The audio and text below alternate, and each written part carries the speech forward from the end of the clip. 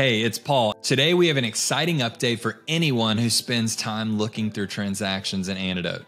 You can now choose which columns to show and in what order. Simply go to transactions and use the drag icon to move columns or the down arrow to hide columns quickly. You can also edit columns to do this even faster by using the Edit Columns button that will pull up a sidebar. You can rearrange the columns here uh, you can hide columns if you don't want to see them.